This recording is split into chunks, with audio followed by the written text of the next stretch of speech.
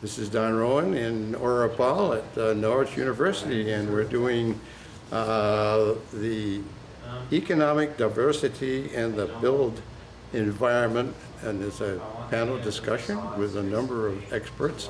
They're going to be discussing this for the next hour, and so we're lucky to uh, hopefully you'll join us and enjoy the show. for joining us for our last event of the 2018-2019 Norwich School of Architecture and Art lecture series, a symposium on economic diversity and the built environment.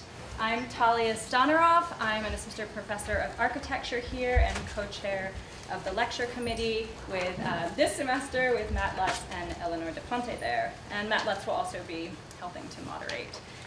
So this symposium, I want to note, is co-sponsored by the Center for Global Resiliency and Security and also the Design Build Collaborative. And we also want to give a special thanks to the Dean of Students Office for offering the generous reception that you'll have after, uh, after the symposium. So we're lucky to have this incredible group of international scholars here to discuss how current housing conditions can be adapted to meet the needs of the underserved populations. They have an expertise that ranges from areas including a focus on homelessness, uh, migrant housing, low-income housing, zero-energy housing, building codes, and mixed-use housing. This symposium then is this unique opportunity to bring these robust voices together to further understand how to make high-performance housing, in every sense of the word, available to houses of all income levels. So to introduce our panelists, uh, we're joined remotely by Hi, uh, Ms. Sarah Lopez. Uh, Sarah is an assistant professor at the University of Texas at Austin, um, is a built environment historian and uh, migration scholar. She's also the author of this book, uh, The Remittance Landscape, The Spaces of Migration in Rural Mexico and Urban USA. This is in our library, so you can go, go check it out. In 2017, re she received the Spiro Kostof Book Award from the Society of Architectural Historians. She's currently researching two projects, the architectural history of migration detention facilities in Texas and the relationship between 30 years of continuous migration between Mexico and the U.S. and the development of, uh, of informal binational construction industry on both sides of the border. Um, next, we have David Shear. David is an architect and a builder uh, and an energy modeling expert who recently built his own zero energy home in San Francisco, although he's built many more as well. He started a nonprofit uh, called Minimum Viable Life to support his homeless neighbors in the local communities and uh, hopes to support other communities with these minimum necessities of living, like food, shelter, laundry, showers, and simple neighborliness. So currently, David is also a CTO of Planit Impact. He's worked on special projects managers as a special projects manager with Autodesk in Building Performance Analysis Group and in land planning and GIS research. Also, he has worked as a contractor a fisherman, and perhaps the coolest, a float plane pilot in both California and Alaska. And on David's left is Gina Merritt. Uh, Gina is principal of Northern Real Estate Urban Venture and has over 23 years of real estate development and investment experience, underwriting over 3.5 billion in real estate transactions and managing over 6,000 units of housing in various stages of development. Her recent industry recognitions include Built by Women, two site award winner uh, for National Capital Commons and Nannie Helen at 4800, Developer of the Year 2017 by DC NOMA, and 2018 Washington Business Journal Minority Business Leader Award honoree. On Gina's left is Ms. Barbara Brown Wilson. Uh, Barbara is an assistant professor of urban and environmental planning from the University of Virginia's School of Architecture, where she's also the director of inclusion and equity. She authored Resilience for All, Striving for Equity Through Community-Driven Design, as well as Questioning Architectural Judgment, the Problem of Codes in the United States. Her research focuses on the history, theory, ethics, and practice of sustainable community development and on the role of urban social movements in the built world. And finally, we have Alex Schafran. Uh, Alex is a lecturer, um, he's a PhD. He's a lecturer in urban geography at the University of Leeds in England, so he's joining us internationally. And his award-winning writing about planning and segregation and regions has appeared in numerous professional and scholarly journals. He's the author of the recent book, The Road to Resegregation, Re, yes, Resegregation, Northern California and the Failure of Politics, which is also in our library. Check it out. Born and raised in California, he spent a decade as an immigrant rights and housing activist in California and New York before becoming an academic. So here's how the symposium is going to go. We're going to have short presentations from each of these incredible scholars and practitioners, and then we're going to open this up uh, to a, as a moderated discussion that we really encourage all of you to participate in. So raise your hands, we'll find a mic, and we'll come around and grab your questions. This is really supposed to be a very interactive and lively discussion. So we will begin with Sarah Lopez. Thank you so much for allowing me to participate as a disembodied floating head. Uh, also, I want to say in advance that um, I have prepared, because I have many slides I'm going to be going through quickly, a little, um, can you see that? I can see it. okay. Perfect. and it has a ruler on it, so I tried to be architectural. Um, so I, I, I, was already introduced. I'm an architectural historian, uh, but I'm an architectural historian of ordinary built environments, and my work is at the intersection of U.S.-Mexico migration in the built environment, and I have several projects that try to understand the material history of migration. Um, I actually am going to be presenting on old work with the on the book uh, because the book is. Um, hold on, let me see if I can toggle mine a project that addresses housing as well as other large-scale public projects that are migrant initiated. It's a book that is multi-sided, so a lot of the research is both in Mexico and in the United States, which is why I have the subtitle of Spaces of Migration in Rural Mexico and in Urban USA. Um, is this working, Talia? It's working great. Great. so remittance is a uh, economic term and it's a term that is simply referring to the transfer of funds from one location to another. Um, as you see in this Guardian mapping, remittances are obviously a global phenomena. The flow of remittances between the United States and Mexico is one of the largest after China, India, and the Philippines. Um, but remittance also as a noun is to postpone, to defer. And because I'm an architectural historian who does oral history and ethnography, as well as understanding the built world, um, it's very important to understand what that deference is about. Why is it that people are deciding to send money from the United States to their hometowns in Mexico to realize houses and public projects for what kind of future? My research um, takes place in Jalisco, and I've also been to other Mexican states to study the phenomena, but mostly in the south of Jalisco and in Los Altos, and mostly in small pueblos and towns of 2,000 persons or, or less. Um, one of the main um, architectural products of this flow of dollars that are coming from migrants who are working across U.S. cities, and I also want to underscore one thing about this flow. This is really a small portion of migrants' income most of the money migrants earn in the United States is being spent in the United States. It's being spent on housing here, on rent, on food, on daily living, uh, commerce.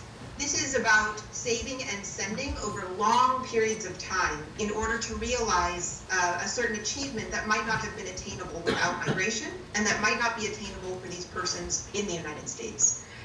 One of the main things being produced are houses. Um, so I write a lot in the book about remittance houses, and I've written and studied that also a little bit outside of Mexico and El Salvador as well.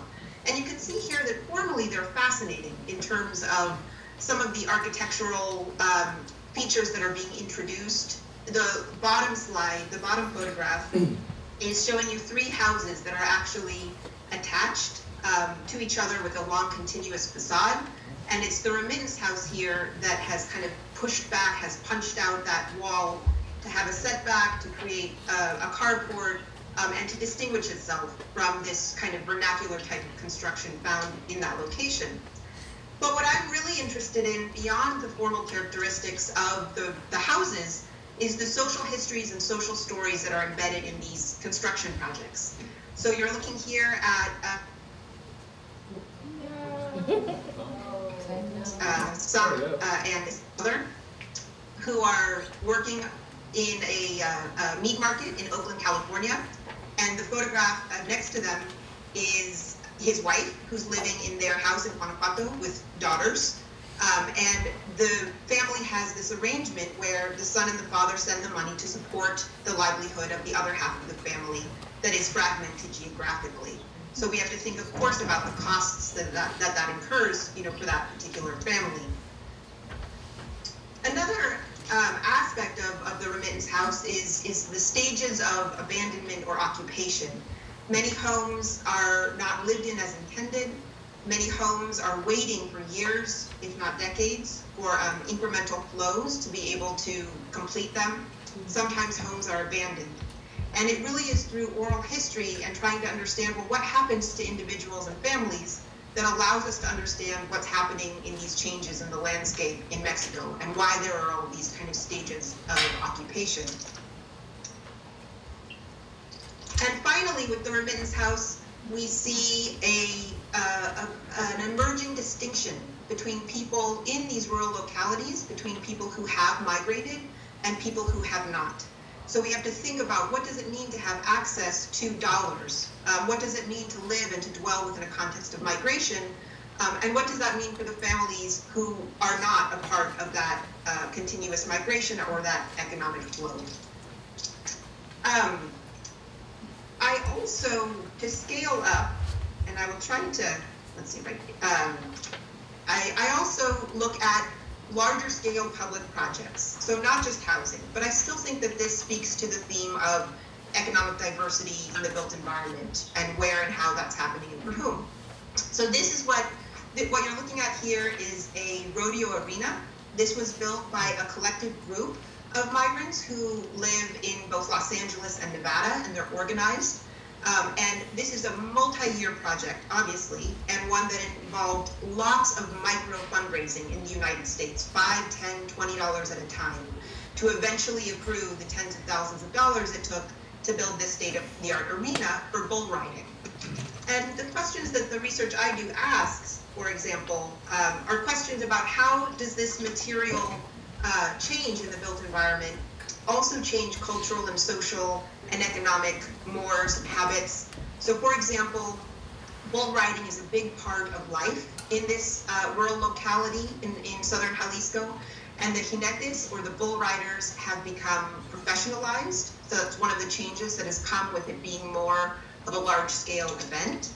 We also see in these uh, rodeo arenas a lot of national advertisements coming into really small places like Sol here, um, beer. Um, the government has also supported the funding that the migrants are sending for the realization of these projects, and that's what you see on the left, that, that sign is explaining.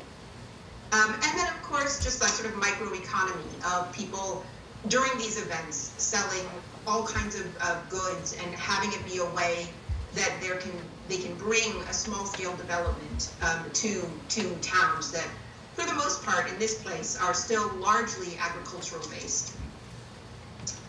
Um, and then finally, thinking about what new spatial hierarchies are created in Mexico because of this economic flow. So what you're seeing here is um, two of the presidents of the migrant hometown associations handing checks over to the municipal president of the locality in Jalisco, um, checks for you know the realization of future future um, changes with the arena and also a parking lot next door. And next to them are the men who are living in that town on a daily basis and who are the managers of that space. Um, and the question becomes if they don't participate in the actual financing, do they get to participate in the decision making process about how that space functions and, and for whom and, and what changes are made? Um, I also wanted to just give you a quick quick sense, uh, just two minutes, on, on some of the mirrored changes in the United States that are related to these changes in Mexico. Um, as I was just discussing the importance of bull riding and the arena, I have um, a project that looks also at the emergence of the arena and the rodeo arena in Joliet, which is on the outskirts of Chicago, also related to a continuous migration um, between Mexico and the US. If you zoom in to that slide, you can see that circle right by um, Roseland Street, uh, which is the arena that was built in the 1970s, one of the oldest that I could date in this outskirt of Chicago, specifically for a Mexican equestrian event. And there are horse stables there that are very informal, that are catering to Mexican clientele. Um, there are those who can't return due to migration. We brought the ranch to bring a bit of Mexico here for our compañeros who migrate and for whom many years pass without seeing a pony or a burro or a horse. So it's interesting to know that there are kind of a whole parallel series of bull riding and also horse equestrian events that are happening in Chicago that are outside of the Professional Bull Riders Association, for example. Um, and if you zoom around Joliet, which is the place where this tradition has really taken root because it's been happening there for decades, you can start to find these circles in these aerial views over um, the area. So zooming in here to this image as well, you see some of the adjacencies that this might create and some of the questions it might raise. When you have a charreada happening right against this condo unit, um, and here you're looking from within the, the bull riding and, uh, arena over that not too high fence um, to the windows of, of the condo unit just beyond. These are really critical spaces. They're spaces for uh, migrant solidarity. They're spaces where migrants from all over Mexico um, and beyond come together and have a multilingual event, if not an event in Spanish, and where various traditions um, are fomented and continued. So these uh, different examples I've given you, and this is my final slide, um, for me raise a couple of questions that dovetail more broadly with this theme of economic diversity and also hopefully specifically with, with housing. The first one being how we study the built environment is critical to understanding who landscapes are for and how they function. So for me as a historian, my answer to that is that ethnography and oral history is critical right now. We have to be talking to people to understand places. The second is that migrants' capacity to contribute to the construction of a new built of new built environments on both sides of the boundary is linked to immigration policy and the social, political, and economic context of migration. Um, for many, many people that I interviewed and I spoke with who came here in the 1970s and 80s and came through all different mechanisms and means, formally with papers, and this is not about, you know, uh, people necessarily being undocumented or being documented. There's a million stories and a million different ways in which people have come here and then chosen to live here for multiple years. And a lot of the people that I spoke with who came in the 1970s and 80s told me that you know the U.S. was the land of opportunity, and they no longer felt that it was for their children. And so thinking about what was possible for a group of migrants who have been here in the United States for 20, 30 years, and is that same uh, realization or, or possibility something that can happen today. And finally, when we think about equity in the built environment, we have to enlarge our geographic frame of reference. Are the so-called working class or so-called migrants able to create viable lives for themselves near their places of work? Is that a choice? Why is it that these houses uh, in Mexico are being built? Is it purely out of a desire to have ties with one's hometown? Is it also a re reaction sometimes to a lack of choices in the host city? And that's it. So thank you very much. Thank you. My presentation is going to be um, looking at, I like to call it shelter because not everybody needs or wants and certainly gets uh, housing, uh, but everybody needs shelter. So um, I've been thinking about this a lot the last couple of years, and uh, so my presentation is really a review of um, what I've learned and what I've experienced um, uh, about this in the last couple of years. So a good way to frame the uh, discussion about housing, uh, about sheltering people is, is often around density. Uh, so this is a, a, residential housing density map, which I like. To, I want to show it first, just to kind of show, get some ideas about the numbers, okay? So, you know, 11 is a very low-density neighborhood. I actually live in the outer Sunset here, which is uh, about 15 to 20 uh, units per, um, per acre. A unit houses an average of about two people. Um, and these higher density, high-rise areas are gonna be 50 plus uh, units per acre. So uh, just to frame all these slides, I, I'm always putting uh, the metrics of units per acre, uh, the cost for building the unit, um, and the cost for the land, which are good metrics for judging how viable these are, how much they cost, how well they can solve this problem. Um, so there have been a lot of very creative solutions in the last few years proposed. Um, this is one of them, uh, tiny house. You guys are actually building one here. Um, these are actually uh, about 100 square feet. And this is a project that's proposed for Berkeley, where they're doing 25 uh, units on a, about a half, a half acre lot. So we got about a 50 units per acre. Uh, and you remember from the last slide, 50 units per acre is kind of on the very low end of the high density range. Um, now we've got very expensive land in San Francisco. So while these buildings may be fairly cheap to build, they're still not insignificant and the land cost is, is very high. So um, I'm not going to make, I don't want to make any conclusions or judgments on any of these solutions. I just kind of want to do an overview of what we're looking at and what some of the ideas are.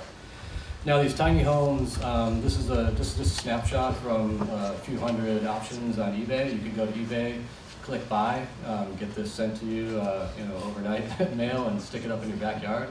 Um, so this is a, basically you can see this as an infill solution. So I could actually buy one of these if it was legal, stick it in my backyard, and if, everybody in my neighborhood did that, we would increase with no land costs the, uh, the occupiability of our space by 20 units per acre.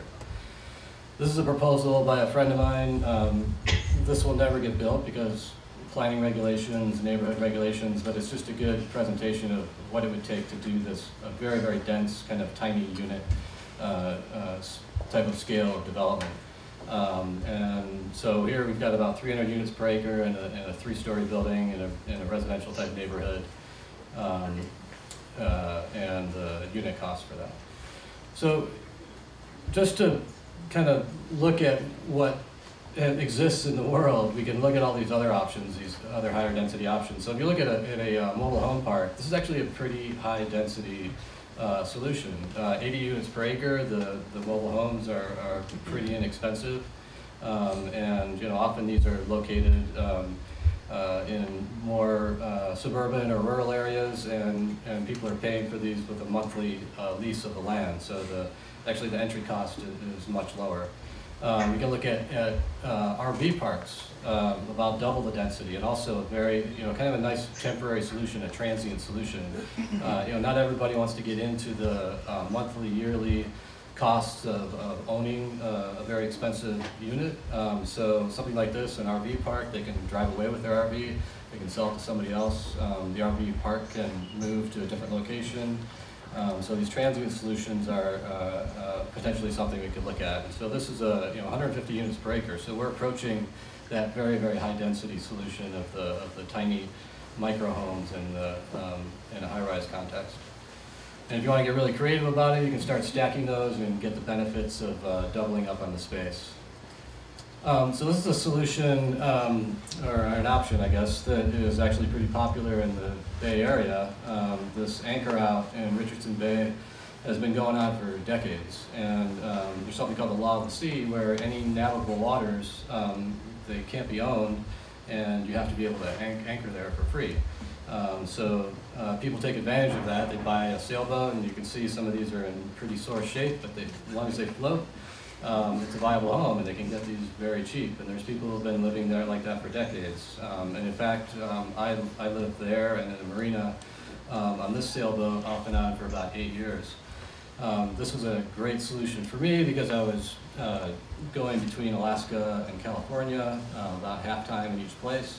Um, I could have this boat in the marina half the year and, and anchor out or live in the, out in the marina the other half of the year. So the real cost of this for me was 2,500 bucks for the boat and I averaged about 150 bucks a month for eight years, so very reasonable cost solution. Uh, and, and I got to sail it around all the time with my friends, which was pretty cool. Uh, so there's a lot of really really cool solutions coming out, proposals coming out these days. Um, this is one by, uh, called PodShare that was um, uh, started by a woman, Elvina Beck, in uh, the LA area. And what she does is to um, lease a warehouse space and build these uh, these very small uh, bed units, and then there's a shared cooking space, a shared hangout space, um, shared storage, and, and bathroom facilities. Um, and you can join this for like 80 bucks a month and then pay a, a nightly fee. So, and live here for a night, live here for, people who live there for eight, nine months. Um, and the cost is like five to 800 bucks a month. Um, and these, all these beds can be taken down uh, in about a week and moved to another unit if they need to change it. Uh, now, solutions like this start running into problems with zoning regulations, uh, building regulations, uh, but she's been able to get around those for a while, and she's got a, a number of these around LA and around the country, and about, about 97% occupancy. Uh, you've got other of these very creative transient solutions like uh, couch surfing. Now this is a couch surfing is a is a site kind of like Airbnb, but it's people who just have an extra couch they want a visitor. So this is actually a free option. Um, uh, you know, no building costs, no land costs, and you can actually you know potentially if everybody in my neighborhood did it, there's an extra 20 units per per acre. So I wanted to show uh, one of the projects I did in Alaska. Uh, this is Homer, where uh, uh, Talia's done a project as well. Um, so it's this, this project in this uh, kind of mixed uh, use area down by the lake. Um, the area is actually great for uh, residential. You've got a um, brewing company, you've got a bunch of restaurants, um, and you've also got places where people work. Um, so I bought this this pair of lots a number of years ago, um, and uh, put a uh, built a uh, high density development on it. And my idea here was to not do the normal thing in Homer, which is to build a big house, get half a million dollars for it, and, and move on. Um, I wanted to build a set of places that were more for the income range of people who worked in Homer, fishermen, uh, pilots, people in the healthcare industry, things like that. So I put um, three units, each were about five to 700 square feet uh, on this quarter acre lot. Uh, so there's a density of, uh, you know, 15 units per acre, which is really, really high for, for Alaska. Um, and it creates kind of a community, you know, it's, and it also gives, uh, you know, it's a very simple solution, uh, fairly low cost. Uh, it has all the amenities people need, and it's in, in an area, a 200 square foot footprint in an area about five to 600 square feet. And it's got some nice design touches, so people can get into this, into a nice architectural experience, um, and you know, kind of lift their spirits, lift their, their living arrangement up for a, a low cost. And my, my idea here was to be able to sell these for you know 100,000 a unit as a condo or something, but um, here we run into regulatory and kind of habit uh, bound barriers where nobody could get a loan for these because you, the banks require that there were comps. And this was the first of its kind in the area, so there are no comps. So I ended up having to sell it to a rich, de rich developer who now rents it out and makes money off the rent. Um, so I recently bought this house in uh, San Francisco after working in tech for a while and saving up some money, um, and remodeled that. And I applied this kind of densification idea to this project as well. So I get this really beautiful uh, space uh, for myself and a bedroom for myself. Um, in addition, I built out, I built uh, lofts in all the, uh, the ceiling spaces. Actually, I have uh, nine queen-size beds in a 1,400 square foot house. Um, took advantage of the opportunities for solar, so the house is zero energy. Uh, and also to boot, I get uh, two Airbnb units out of it. So here I'm actually adding a density of 20 units per acre to this. Uh, and I'm also able to you know, pay my mortgage and, and, uh, and taxes based off the, the Airbnb income. And since this is one of the big benefits of a transient solution like Airbnb, where um, when I don't have people in the house, I can house my, my homeless friends um, I've always got control of the house so that I can have uh, people over to take showers, do laundry, or whatever. So that gets into the, the homeless support. When I was building this house out, I, I spent a lot of time hanging out with homeless people in the neighborhood. It just, I walk the dog every day, and so I just saw a lot of people in the street. Um, and the homeless community in my neighborhood is, is pretty stable. It's usually the same people um, all the time, so I got to know them pretty well. They're as much my neighbors as anybody else. And I just discovered that the, the barriers they run into are just so minimal for somebody like me. So for instance, this man, um, John, who lived in his van, he's a computer programmer, and he ran, runs his computer all day off the, uh, off his batteries, and his batteries were wearing out. He, you know, it costs hundred dollars to buy a battery, you would never be able to come up with hundred dollars, so I just bought him a battery, it's hundred dollars. Um, he's a computer programmer, his, the top is what his glasses look like uh, for the last five years. He couldn't afford to get um, an eye exam and buy new glasses, so I talked to my optometrist who donated the eye exam, spent 40 bucks on one of those mail order glasses company, and, and he's you know set for the next five years on glasses. So very, very, very simple for somebody with this, any money at all to solve the, these really big problems for homeless people. Uh, of course, having a car requires maintenance. He wasn't able to keep up the maintenance, so he was driving around on basically no brakes. So this is when I started the minimum viable life to start raising money. We raised 250 bucks. I spent the afternoon changing his brakes, and now he's driving safely. Um, but his car was really on its last legs. Um, he was his solution was to live in his van. He had a very uh, he's got he's got it really arranged nicely. He's got a safe place to sleep. He's got a safe place to spend the day, where he's got internet access. Uh, but his van, this is where he was sleeping. Um, his van was just in ter terrible shape. His hood blew off in the last windstorm. Um, so we uh, we had a fundraiser and, and raised about two grand to replace his van. Now these Sienna vans are a dime a dozen. You can get them all day for 1,400 bucks. So uh, we bought this one for $1,400. And then since I'm an architect, I had to get SketchUp out, of course, and uh, design out a, a cool interior space that transition for sleeping and for living. So another 250 bucks and a couple days of work, um, and we were able to build this out into, uh, you know, something reasonable facsimile of a home. Um, and you know, it has all the amenities of a, of a, of a home with a desk space, uh, space to hide his, his equipment, clothing storage, and a little bit of uh, cooking facilities.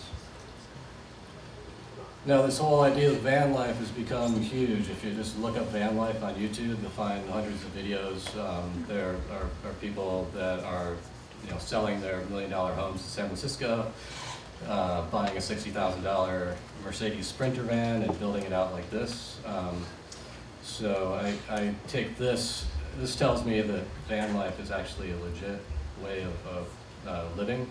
Uh, the nice thing for someone that doesn't have as many means it actually gives, gives uh, storage as well as uh, area to sleep, as well as transportation to a job. Um, so to me, a van life is a really a, a, reasonable option. Now this is what we're dealing with in San Francisco. Uh, really informal housing. People are finding a tent somewhere and just setting them up on, on, a, on a sidewalk somewhere. Um, now, one step up from that, some cities are creating these more formalized spaces, uh, empty spaces in the, uh, in the city where they provide platforms uh, for people to, to put their tents rather than being on sidewalks. It's some way to control a little bit the situation and to, to raise up this, this situation a little bit. And uh, for instance, this Tent City 3 in Seattle, Washington, it moves every two months. So it'll be in one park and then it'll move to another place so it doesn't overburden the neighborhood. But it provides a safe space um, that where the police know where people are so they can protect people. Uh, they provide a platform, so it's just it's one step up from this uh, living on a, a, wet sidewalk. Another step from that, this is an artist in Oakland, California, is just using scrap scrap materials, and uh, whenever he gets a little bit of time, he'll build out one of these uh, little pod units. Uh, so this is a sleeping unit. It's got got a lock on it. It's got a place to sleep and a place place to store your stuff. Um, he puts it on wheels, and he'll just roll these up to places where people are sleeping in tents. Um, here's a slightly more formalized version of that in, in Seattle um, on an empty lot. And here's a guy that's uh, retired aerospace engineer, is kind of making a name for himself, experimenting with a, a bunch of different mobile units like this, uh, where he does the same thing. He'll build these and then just bring them over to any homeless person he finds. Um, here's a unit built by a student in uh, Portland. Um, it's taking up a parking space, but in, in my opinion, I'd rather see someone living there than a, than a car. Um, so No, these seem like really informal and unsustainable solutions, but you know, you've got some cities like this that are providing uh, these mobile shower units. Now, this is a very, very simple, very ch- cheap and cost-effective solution. A couple of these trucks could have showers for everybody, every homeless person in San Francisco uh, once a week. Um, so, building on that, I'm trying to do my part with uh, with minimum viable life to provide these kind of final minimal pieces for people that don't have uh, that don't have that storage and, and cleaning facilities. So um, when I made this card up initially, people told me, oh, it looks like you're satisfying you know, the Maslow's hierarchy of needs, right? Um, which basically says that, you know, first thing people are going to focus on is the physiological needs, then they need safety, then they can focus on the higher needs like friendship, like giving back to the community. Um, I think a diagram is really important, and having these really big things on the bottom makes them seem harder than they really are. Uh, they're actually much easier. The people that I know, um, they need really minimal, uh, need to satisfy really minimal needs in safety and shelter, um, and they'll jump right to creating friendships, to wanting to give back to the community. One guy I work with, every time I meet him on the street, he tells me how he wants to help me build the next uh, you know, solar plant in Cambodia, and he's got all these new designs for hydropower, and then he forgets that he, you know, I brought a sandwich for him. So um, the, the point about this, and that's the reason that I include the info and talk part here um, on minimum viable life, because I think that's as, as important or more important than everything else. Um, so I think this diagram works a lot better to show that if we build these really easy little pillars at the beginning, um, it's amazing what we can get back from people. Um, yeah, that's it. I'm Gina Merritt. My company is Northern Real Estate Urban Ventures, and I'm going to start uh, the conversation uh, with talking about my company and a little bit about what I do. So, my firm basically develops housing and mixed-use facilities in the District of Columbia mainly but we do work all over the country, as indicated on this slide. We work in Maryland, Georgia, Louisiana, many states within the urban context.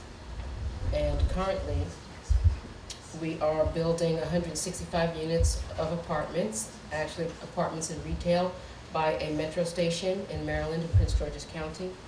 We also recently finished a $65 million, 348 unit renovation project in Pittsburgh and we just completed, actually two weeks ago, had the ribbon cutting for a, for a fifty-six million dollar project, which includes a church renovation, expansion, ninety-nine units of affordable housing, two-level parking deck, a retail storefront that will include a culinary arts training program, as well as a rec center. And that project has three separate owners and three separate financings, and we also had to uh, create 15 air rights lots, which is a whole big thing, in order to make this project happen. And uh, I've also won a number of awards for that specific project because it was so complicated. Uh, we wound up winning the New Markets Tax Credit Deal of the Year award by Novogradac, which is a very popular uh, industry um, periodical. So some of our clients include McCormick Baron Salazar, they're about a five billion dollar developer. Uh, uh, so we actually do work for national affordable housing developers managing their projects. We also advise many cities, usually smaller cities that have challenges uh, finding a high level of technical real estate expertise, so they wound up hiring my firm to help them. And then we work also for a lot of nonprofits, community development organizations, and faith-based CDCs. This is a little bit about how our company is organized in terms of disciplines and the services we provide our clients. And this is our company by the numbers. Since everyone loves metrics, I figured I'd put a couple up on the board. 6,045 units developed, over 7.1 million square feet. We've received 19 awards. We've served over 18,000 residents. Okay, and to cover today's subject matter, So we're talking about underserved populations, so I figured I'd give some historical perspective on a few populations that I actually serve in my work. Uh, veterans, and when we think about the history around veterans, uh, they're usually, or they have been in the past, housed around their physical disabilities, right? And they were put in old soldiers' homes, that's what they were called. That now is like the medical VA. Um, some of their issues were around disabilities being both physical and mental, and substance abuse. And really, uh, over the last hundred years, uh, there's just been a lack of dedicated resources, right, to veterans. Uh, LGBTQ individuals, some of the history there, which seems crazy, right, is that folks were punishable by death, or, and, and at some point it was changed. Uh, instead of killing you, they just mutilated you, the government. Um, then it was eventually designated as a mental disorder. And then, of course, even through today, we see institutional discrimination, right? And the same, similar, we, similarly, we wind up with institutional discrimination for African Americans, but that history starts from enslavement uh, through what we see uh, today and sort of after the civil rights movement, redlining and reverse redlining. And so, uh, some of the historical perspective around actually housing these folks are, right in the 1930s, the government builds public housing, really in high-rise, uh, very dense buildings, which lead, which led to urban ghettos. In the 60s, they decided, oh, that's not the right way to house people. Let's put them in low-rise buildings and move them out to the suburbs. Uh, but actually, out in the suburbs, there weren't very many services for people. And then in the 90s, we see going to the Hope Six program, which is a program where the federal government sponsors financially um, the redevelopment of housing, but at that point, they really didn't focus on specifically human capital or um, related issues to housing, which would include, um, like today's program is called Choice Neighborhoods. And Choice Neighborhoods program also focuses on education, public safety, so basically a comprehensive and holistic approach to redevelopment. Some of the other tools used today are inclusionary zoning, right? In cities where they say in order to get the right to build, you have to provide affordable housing. There's also a focus on, focus on mixed income communities, and that really is through income averaging, where people that make thirty percent, forty percent, fifty percent of area median income, which is a standard set by the government. Um, I'll use DC for an example. The uh, area median income for DC, hundred percent is around hundred and fifteen thousand dollars a year for a family of four. So sixty percent of that would be for a family of four, making around sixty-two thousand dollars. And, um, and, and also today, we see a lot of housing typologies that are dedicated to specific populations for the underserved. So, so some of the uh, context there in terms of people and their challenges uh, today, current challenges for veterans are similar uh, to the past, but we're looking at homelessness, mental health, and physical health as, as challenges for this veterans population. The LGBTQ, and I'm focusing on seniors because I've done a project on seniors, or I'm working on one, which I'll show you later. Uh, there are issues around isolation and discrimination for low-income African-American families. They lack access to services, health, retail, and food, employment training, safe and decent affordable housing. And middle-class individuals also have, have a huge challenge, uh, which is lack of access to affordable housing. Right? Middle-class families don't qualify for affordable housing, and they can't afford to live in luxury housing. So there's this real gap uh, for middle-class families that wind up spending too much money on rent. So as, as a developer, and from my perspective, the things that I think about when I'm working to house these various populations for veterans, it's needing to concentrate social services for that population so that they have access to those services. Instead of sprinkling uh, veterans that might have, say, substance abuse issues in a family development, um, you want to be able to uh, uh, house those folks together so that they can have access to services. Uh, the same thing with LGBTQ seniors, uh, especially around the issue of isolation. and, and to be able to be housed with folks who have similar issues. Uh, It works in terms of um, sort of a communal perspective to share uh, what it feels like to be isolated and to actually be in an environment where you get support.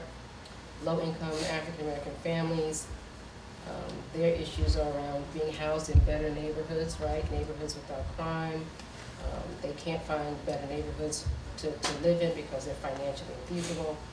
And when they do find affordable housing opportunities, they're usually in poorly maintained property uh, and redline neighborhoods, so they don't have access to services. And again, the middle-class family just, um, they're sort of left out of the equation. So this is a project in DC on North Capitol Street. Uh, There are 124 SROs, mostly for veterans. And I manage this project actually for McCormick Baron Salazar. And there are 17 units in there for the from the Department of Behavioral Health constituents. And then there are 47 just low-income units. And most, if not all of these are subsidized with some kind of rent payment subsidy. And at the property, there's a ton of uh, various services, case management, counseling, employment training, referrals. And I had to stick that picture in there of Michelle Obama. Yes, I did get to meet her, um, so that was awesome. This is a project uh, I worked on in Atlanta, which was a public housing redevelopment. And in this development, forty percent of the units were going to remain public housing, and the other sixty percent were actually going to be market rates. So here's another example of how the middle income is not served. But in this case, uh, we also had a bunch of different services and amenities for folks that live here. And the development was, uh, was a twelve acre site, and it was seven hundred units. This is a project that um, I won tax credits for in the District of Columbia, which is a very challenging thing uh, to do, but this is a 15-unit SRO project. Also, uh, we'll have case management and counseling, and it's basically a communal facility, so they'll be very small units with, uh, with like a, um, with, with private baths, but the uh, eating will be in a communal environment. So that's why there's no rendering, because we're still under development, just getting started. This is a project I completed, uh, which serves African-American families. One-third of the units are public housing units, uh, all ones, twos, and threes. And, and here we have Subway Sandwich Shop. At the time, uh, Subway Sandwich Shop was the only fast food establishment that was, um, that was uh, supported by the American uh, Health Association, or Heart Association. And uh, we promised the community that we would put something healthy in there, you know, and it's hard in, in this neighborhood, which is a, a much lower income neighborhood to get services. So we were able to get Subway in there, so we're happy about that. And then uh, we do lots of programs on healthy living, teaching folks about uh, how to deal with hypertension and diabetes. Then my husband actually made me put this slide in because he said when people see this, they won't believe that that's public housing. And so this is that, that development that's one-third public housing.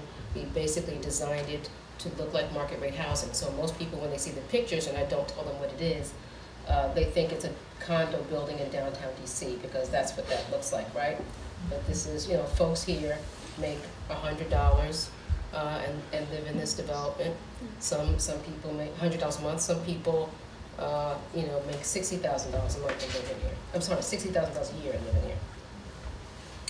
Okay, so this is a project I'm working on by the, um, Capitol Heights Metro, and I put it in here as a, as an example for, um, middle-class individuals, it's one and two bedrooms, um, but the rent is around fifteen to, fifteen hundred dollars to twenty-five hundred dollars a month. And if you know anything about DC, right, the average rent in the nice neighborhoods are more like 3,500 to fifty-five hundred dollars a month, right? Uh, so there's an example, where do middle-class families live? And in the affordable housing, uh, examples that I showed you, the rent there is between nine hundred and twelve hundred dollars a month, right? So where do, again, middle-class families live? So this is a great example, it's by the metro, so you can park here and go to work. Um, And these rents are affordable for people that make over hundred and ten thousand dollars a year for families. Good afternoon. We're buzzing. Yeah, we're would making make us noise. buzz less? Okay, that, whatever happened was better. Okay. Okay. Okay, I'm gonna try this again. Good afternoon. Good afternoon. Yay. Um, okay, so I uh, smushed together a couple things I care about because I just felt like um, uh, I was inspired by the theme and, and the questions that had been sent out prior, and so I, I thought I would just sort of give you what I hope will be completely coherent uh, string of, of thoughts. Um, a lot of my work, uh, I'm, I'm, I teach in urban planning, but I, um, uh, I'm often uh, confused for an architect, which I think is quite a compliment, if I understand, uh, by, by the architects, um, and, uh, and often work in collaboration um, with, with architects and, and think a lot about the, the fields of design as, um, as a set um, working working together. So uh, I'm I'm always interested in power. I'm interested in who gets to make decisions and what are real decisions and what are fake decisions. And I feel like a lot of times uh, planning, the field that I often teach in, and and design. Um, will give you, you know, three different color palettes, but it's all really the same non-choice, right? Um, and so, when are we in moments where uh, people are really uh, getting to uh, to kind of enact their own self determination in the built world. I, I think that's um, that's an interesting puzzle, and this um this um, this uh, flyer really really kind of captured me when it, it first came out. It was right after Katrina in New Orleans. And uh, this group of activists actually, uh, they, they say they're using a South African slogan, but it's actually a South African disability rights slogan that that has become um, an international, you know, uh, sort of slogan for the movement. Nothing about us without us is for us, and um, and it's really about power. It's who gets to decide what happens in a space, right? Um, and we're very good planning and and architecture at coming in and sort of saying, okay, well, you need my help, so I'm going to make all these decisions for you, and it's going to be great, I promise. Um, and uh, and so. Um, so I've, I've spent a lot of my time thinking about when we get to flip that, when uh, when you know power can be redistributed, and um, and uh, you know this notion of equity in particular, when we're um, when we're thinking not only just about equal access to things, but actually like building your own wealth, building your own self determination. Um, you know, how does that manifest in the bill world? Because it's complicated, you know. Um, and so you're all here because you believe um, on some level in uh, knowledge. You're either getting a credential or giving them or something or other. And we've all been talking about the credentials we have as we introduce ourselves. So we know that in many senses, knowledge is power. And so a big question for me is what counts as knowledge and, um, and how do we think about, and I think uh, Sarah actually brought this in really well, this notion of uh, social history and how we understand um, a landscape based on the uh, the questions we ask and the stories we tell. Um, and uh, this is not a new concept. This is something. Uh, so, leadership without easy answers is a is a piece of work that in the '90s was talking about adaptive practice, and we hear this notion of um, ad- adaptive, you know, uh, complex adaptive systems in the in the world of resilience um, to, to think about, uh, you know, uh, dynamic situations and, um, and systems and how they change. But the way that it's used in this text, which um, I recommend highly if you, if you want to geek out on these, these sort of power sharing dynamics, is actually thinking, okay, well, when the, when the problem is really hard to define and when the solution requires uh, you know some some stretching and learning. When when you have what you know what can, can be considered a wicked problem or at least one that is is really really complicated um, and uh, and hard to solve uh, you don't just need technical knowledge. You also need local knowledge and you need uh, people to uh, to be driving their own solution making process. And that is super complicated when it comes to the built world. Um, but here's a here's a, again a text from about a decade ago um, that uh, that's actually looking at the notion of co-production and um, in the planning world. Um, so uh, really in this in this realm they are um, they're defining it in terms of uh, rural community development and they're thinking about co-production as not only um, a uh, responsibility for design of a service in, you know in this case of, of, a, of a planning process but also implementation of that service. So really thinking about how um, we might frame our questions in um, in participation and then frame those solutions. That, right that's like not the way things are structured right now. Um, and so uh, and so that that is a that's a complicated set of challenges um, so I spent some time really trying to delve into um, into this world of public interest social impact whatever little bit of you know uh, pop phrasing you you want um, in the design world to really understand okay how does this happen? And i um, surveyed hundreds of practitioners that identify with one of these terms um, and i asked them to basically mark out on a continuum you know from 1 to 10 um, all of these different terms because language is fluid so giving you just like a glossary of terms and as i, I was writing a book at the time um, is, is not actually that helpful. And there are glossaries out there that, that we can refer to, but it felt more important to think about things on a continuum. So I asked them to map out these terms, not only from product to capacities orientation, like what's the goal of, of the, the, the thing itself, um, but also from professionally driven to community driven in terms of who has power in the decision making process.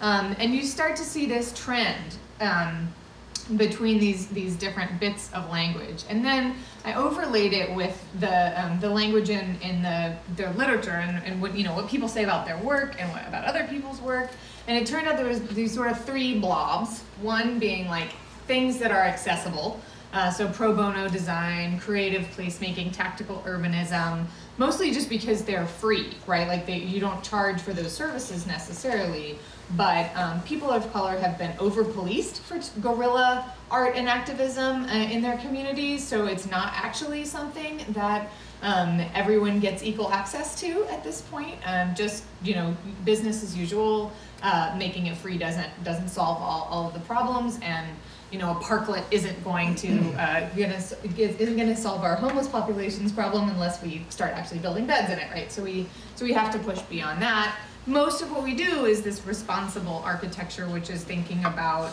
um, the our charge to serve in the public interest. Um, but uh, but when you are grappling with um, traditionally uh, underserved communities that have all of the traumas uh, that Gina just told us about, um, that generationally have kept um, you know, wealth uh, generation from being an opportunity for, for hundreds of years, um, you really have to think differently about equity. And, uh, and so there's a whole realm that I'm sure many of you have heard about in the, in the sort of civil rights movement. You have Whitney Young come and talk to the National AIA Convention in 1968 and say, um, you know, you are uh, you are a, um, a profession not known for your you know contributions to civil rights. Um, you are known for your complete irrelevance and uh, thunderous silence.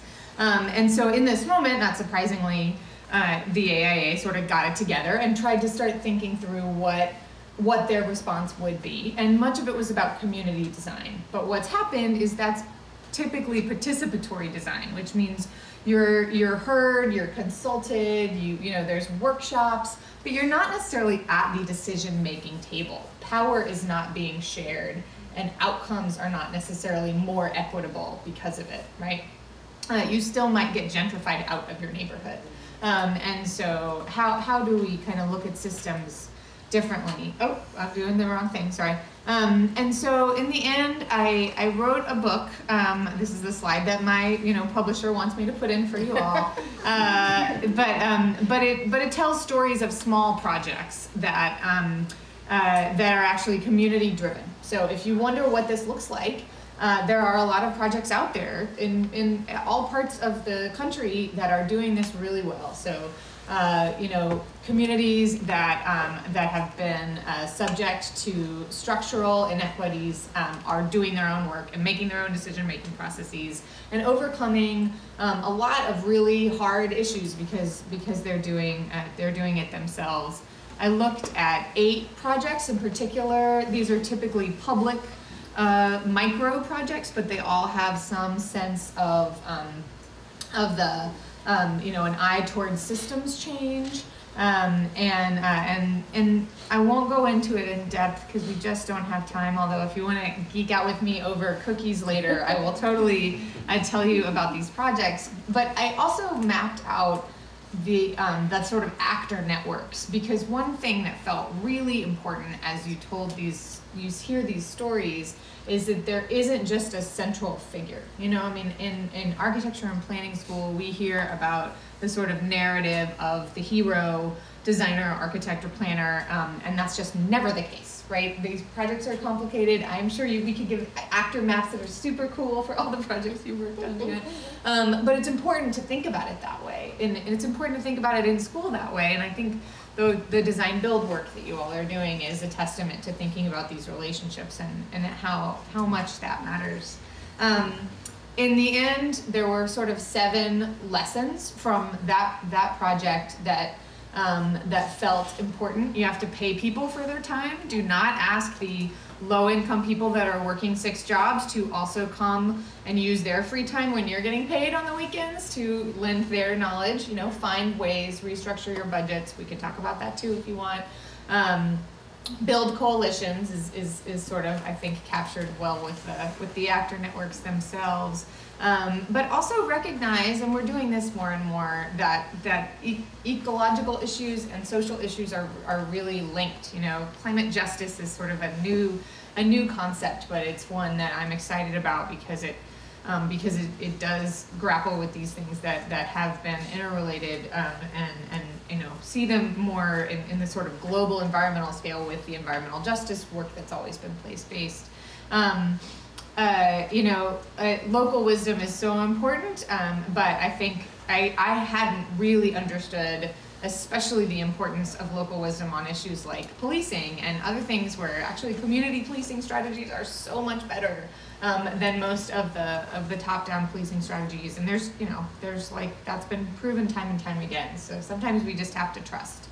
Um, and then think about um, the micro and the macro in terms of, of thinking about change, how, how we make change in, in different scales. And just to give you one example as I finish, um, I've also been doing a lot of work with resident driven um, redevelopment of housing. So subsidized affordable housing um, and unsubsidized affordable housing are going through these massive redevelopment processes right now just because it's sort of like time for a lot of the original tax credit properties to, to get refinanced. And it's really scary to think about um, millions and millions of units going through another version of urban renewal where, where communities are displaced. Um, and so uh, we've, we've looked at all of the different systems that are used for building assessment. So here you see, um, it's hard to read, but there's like LEED and the Living Building Challenge and um, you know, uh, sites and a lot of the different uh, building assessment systems and landscape assessment systems that you're reading about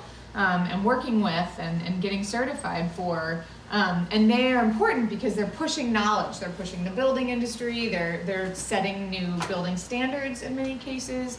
Um, but they're just starting to think about equity, and they're just starting uh, to think about social cohesion, quality of life, you know, economic development, um, and so that's what's being mapped here is is is the change over time in in, in these uh, these systems. And what we did, just to finish up, is um, is we actually created a, a tool that was explicitly for um, housing redevelopment and subsidized housing that would allow um, you know groups to build a coalition so the developer and the financiers and um, and the residents can all work together to share power and ideally to even share equity. And we're working with LISC and a few other financial intermediaries right now to try to imagine uh, what that looks like in practice. Thanks